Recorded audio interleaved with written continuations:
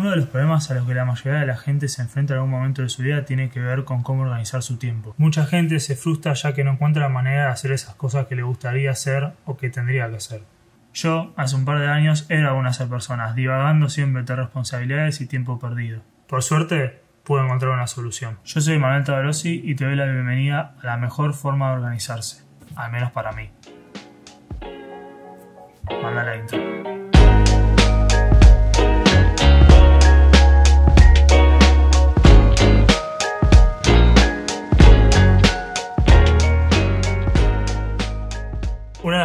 Que tienen que saber es que este método de organización no lo inventé yo, obviamente, sino que sale de un libro, que es este libro, que para mí es uno de los mejores que he leído. En uno de estos siete hábitos es donde el autor explica la forma de organizarse que yo les voy a contar. La verdad que les recomiendo que si pueden comprar el libro lo compren porque no es muy caro y la verdad que simplemente es espectacular y no tiene desperdicio. Más que nada si son unos procrastinadores seriales como era yo. Tengo pensado hacer más adelante un video específicamente contando los 7 hábitos del libro porque no tiene desperdicio. Para ponerse un poco en contexto, lo primero que tengo que explicarles es que según el autor hay cuatro diferentes maneras de administrar nuestro tiempo. El autor con esto no se puso muy creativo porque al ser cuatro distintas herramientas le puso primera, segunda, tercera y cuarta generación. No la pensó mucho. La primera generación es la administración del tiempo en base a listas de tareas. Esta es la simple y básica lista de tareas donde uno tiene las tareas que tiene que ir haciendo y va sintiendo como una especie de satisfacción cada vez que tacha una tarea porque siente que está haciendo lo que tiene que hacer. El autor dice que este tipo de administración del tiempo, esta herramienta, no es muy eficiente ya que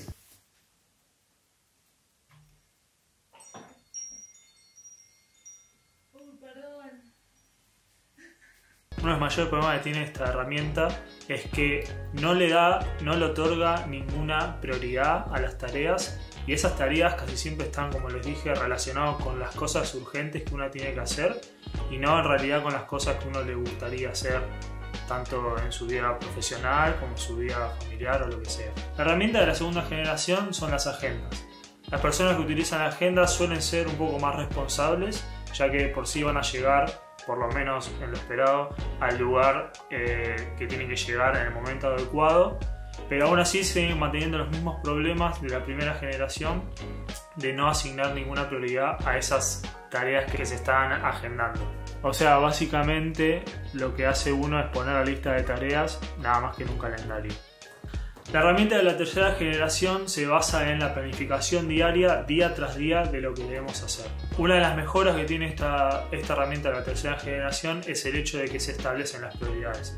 Las personas de alguna manera pueden determinar, bueno, hoy tengo que hacer tal cosa, mañana tengo que hacer tal otra, y van organizando de una manera mejor, por lo menos que comparando, comparando con las listas de tareas y con las agendas. Aún así, para el autor, esta forma de organización también tiene sus problemas. El mayor problema radica en que se tiene una visión muy cortoplacista de lo que hay que hacer, ya que se está planificando de un día para el otro y también hay un exceso de planificación, porque seguramente todos los días las personas van a tener que estar diciendo, bueno, hoy voy a hacer tal cosa, mañana voy a tener que hacer tal otra, y van a vivir planificando más que viviendo haciendo las cosas que tendrían que hacer.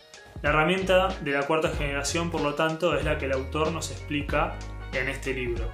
Y como pueden ver es la siguiente. Hay muchas cosas que tener en cuenta. Pueden ver que tenemos por una parte los roles, que ya les voy a explicar lo que es. Tenemos por otro lado las metas semanales. Podemos tener otro lugar donde están las metas mensuales. Tranquilo que yo les voy a ir explicando todo, no se anticipen. Y por otro lado tenemos lo más importante que es nuestra planificación semanal. Ahora te voy a explicar cuáles son todos los pasos que vos tenés que seguir para poder llenar esta planilla y empezar a desarrollar una mejor organización y tener planificado en un espectro semanal cuáles son las tareas que vas a tener que ir desarrollando. Así que agarra papel, lápiz, papel y lápiz, en que estuviésemos en el siglo XV. Y prepárate para ir anotando todo lo que te voy a ir contando. ¿Listo? ¿Ya está? ¿Tenés? ¿Para anotar? ¿Para escribir? ¿Algo? Ok. Lo primero que tenemos que hacer es determinar nuestros roles. Lo primero que vamos a tener que hacer para identificar los roles es tener en cuenta en todos los ámbitos que nosotros nos desarrollamos en nuestra vida. Por ejemplo, uno, un rol puede ser tener un rol de estudiante un rol en el trabajo, varios roles en el trabajo, un rol dentro de la familia, como puede ser ser un padre, ser un hijo, ser un hermano. También podemos tener otros roles que hacen referencia al trabajo en distintas comunidades, en una ONG, en la iglesia, sea cual sea la religión. Lo importante acá es que ustedes puedan identificar y anotar todos los roles de su vida que pasan durante una semana y, aquellos roles en donde ustedes pasan tiempo. Una vez definidos los roles, lo que vamos a tener que hacer es pasar a la segunda parte de este tipo de organización que se basa en la selección de las metas. Esta parte en sí es un poco más complicada, ya que va a llevar un poco más de introspección propia de cada uno de ustedes y lo que van a tener que hacer es pensar cuáles son aquellas metas o esos objetivos que ustedes quieren cumplir en cada uno de los roles que acaban de escribir. Como esta va a ser su primera organización semanal, yo les recomendaría que planteen distintos tipos de metas por cada rol, pretendiendo que no sean más de dos o tres por cada rol, de aquellas metas que ustedes quieran cumplir en esta semana entrante. Lo ideal es que más adelante lo que ustedes puedan es plantear metas de mayor cantidad de tiempo, por ejemplo, metas anuales o metas trimestrales o metas mensuales también, y que una vez que tienen planteadas esas metas la vayan descomponiendo en las tareas que tienen que ir haciendo para poder cumplir esa meta. Por lo tanto, para resumir un poco todo, ustedes tienen que identificar el rol que ustedes cumplen en su vida y seleccionar una meta que ustedes quieran cumplir para ese rol. Les voy a dar un ejemplo así queda más claro. Por ejemplo, el rol como estudiante. Podemos tener una meta a largo plazo que sea el hecho de recibirnos de la carrera que estemos haciendo. Nosotros sabemos que para eso lo que tenemos que hacer es, de alguna manera, dividir o determinar nuestro tiempo para poder estudiar, para poder aprobar los parciales, para poder recibirnos. Es muy importante que ustedes puedan ir descomponiendo las distintas metas porque todo camino empieza con, un, con pequeños pasos. Entonces, no tiene mucho sentido plantearse una meta anual que ustedes no saben cómo alcanzarla, sino que lo mejor es ir dividiéndola en pequeños pedacitos que se puedan ir haciendo de una manera gradual para luego poder alcanzar esa meta mayor. Una vez que ya identificaron los roles, seleccionaron sus metas, viene la parte de asignarle un momento en la semana para poder cumplir ese objetivo. Por ejemplo, si ustedes como objetivo quieren entrenar 5 veces por semana, lo que van a tener que ir haciendo es colocar en qué, tiempo, en qué hora del día pueden realizar esa actividad. Después se van a ir dando cuenta que dependiendo el rol y dependiendo la meta, hay algunas metas que están restringidas a un determinado horario o a un determinado día de la semana. Por ejemplo, si ustedes participan de una ONG o alguna comunidad religiosa, quizás el único día en que ustedes pueden dedicarle tiempo a eso es los sábados o los domingos cuando asisten a estos lugares. Por lo tanto, esas metas van a quedar restringidas de alguna manera a que ustedes las trabajen en ese momento. Una vez que ustedes acomoden todas las tareas y todas las metas que tienen para la semana dentro de este calendario, lo que le va a pasar es que van a ver que va a quedar mucho tiempo libre de sobra, que pueden utilizar tranquilamente para hacer otras cosas. Entonces básicamente lo que tienen que ir haciendo ustedes es ir acomodando esas tareas eh, en determinado horario de determinado día para que ustedes sepan que cuando llegue ese momento ya sé lo que tengo que hacer. No tengo que estar pensando en qué es lo que tengo que hacer porque ya lo tengo organizado y lo único que tengo que hacer es actuar. Teniendo esto ya claro, les voy a dar un par de recomendaciones que me parece que les van a servir para poder hacer esto. Son cosas que he aprendido de más que nada también leer el libro y de la práctica, ya que hace más o menos 2-3 años que vengo haciendo esto y con la práctica se van a ir dando cuenta que la van a tener un poco más clara. La primera recomendación que les doy es que pongan un día de la semana para dedicarse a organizar, ver qué metas quieren hacer y poder pensar cuáles son los objetivos que quieren cumplir. A mí lo que me pasó es que yo encontraba que el domingo es un día dentro de todo tranquilo como para poder ponerse a pensar estas cosas. Yo creo que es mucho mejor hacerlo un momento que uno está más tranquilo, que dependiendo del tipo de día que lleven puede ser o un miércoles a la tarde, o un viernes a la noche, o un domingo a la tarde. A mí me pasó que era el domingo a la tarde y eh, es un momento donde ustedes pueden decir, bueno, mis metas son estas, mis roles son estos, qué cosas me gustaría cumplir, qué cosas puedo hacer para llegar a esas metas.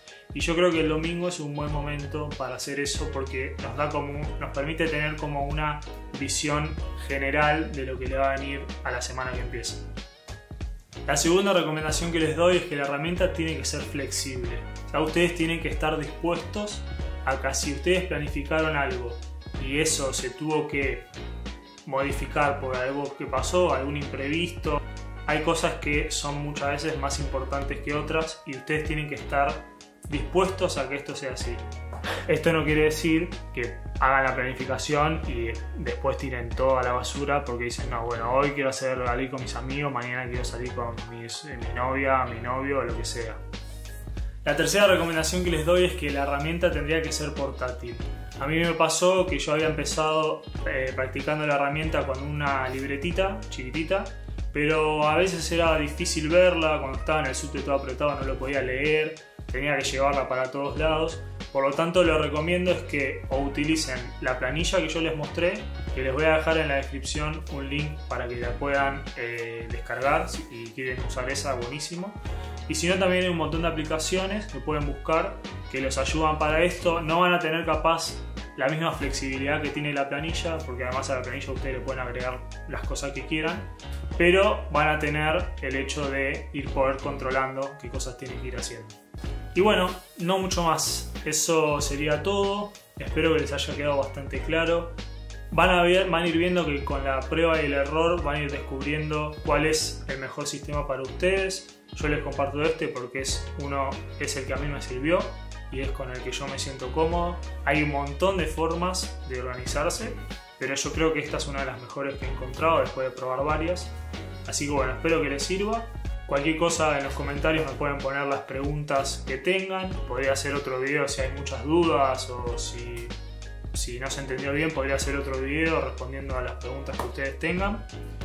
Como última reflexión les quería decir que eh, sin importar la planificación que uno haga, porque uno puede tener perfectamente planificado cada minuto del día, eh, lo importante es que las metas que tengan sean metas que ustedes en realidad quieren tener, que no sean impuestas por nadie, sino que sean cosas que en realidad ustedes quieren tanto para ustedes como para la gente que los rodea.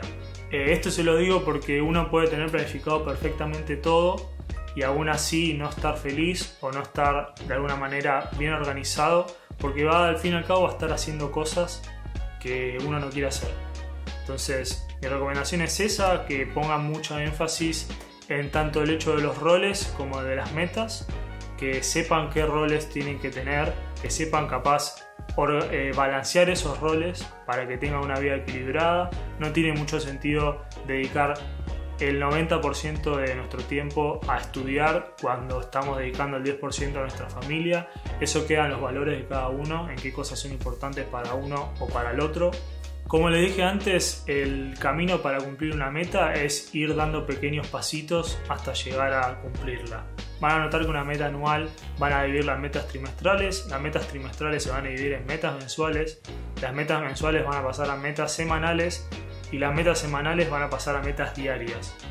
Pero en cada momento, en cada segundo que nosotros tenemos, tenemos la oportunidad de dar ese pasito para adelante para poder empezar a cumplir eso que queremos cumplir y poder lograr ese objetivo. Eh, lo que les quiero que les quede claro es que el momento para actuar es siempre ahora. No es nunca, bueno, mañana planifico o la semana que viene lo planifico o lo, bueno, empiezo a hacer ejercicio el lunes que viene. El momento siempre es ahora, porque lamentablemente no vamos a estar acá eh, por mucho tiempo, o sea, tenemos un periodo determinado que podemos vivir y tenemos que aprovecharlo porque es el momento que nos tocó. Así que yo los invito a que se puedan también dar cuenta de eso, de que el momento para actuar es ahora, nunca postergar las cosas porque después casi siempre nunca las terminas haciendo. Así que bueno, espero que les haya gustado, que les sirva, que se puedan organizar. Acá abajo en los comentarios me pueden decir lo que quieran. Eh, los invito a que se suscriban a que le den me gusta. La semana que viene voy a estar subiendo un nuevo video, como vengo subiendo ahora todos los viernes, aunque uno lo subí el sábado, pero bueno, nadie diga nada.